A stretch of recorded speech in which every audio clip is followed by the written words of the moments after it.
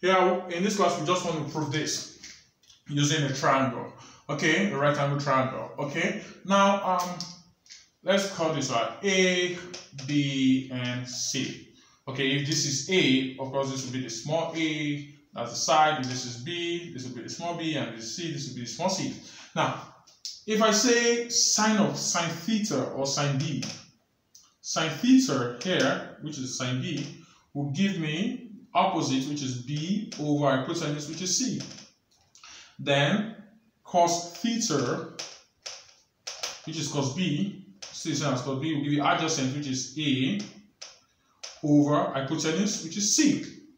Okay, now having known this, that's the first step. The second step is let's we want to try to make uh, the hypotenuse 1.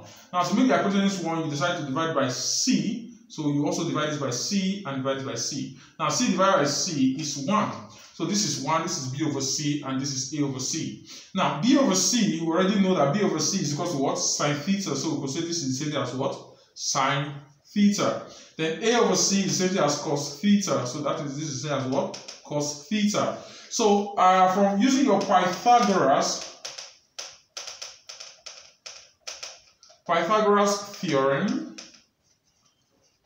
we know that the um, opposite squared plus adjacent squared equals to hypotenuse squared. Okay, now the opposite square here is um this is the opposite square is sine theta squared. Then plus adjacent, this is the adjacent uh cos theta squared equals to hypotenuse, which is 1 squared. So another way of writing this is this, as sine square theta plus cos square theta equals to 1 square is 1. Proven.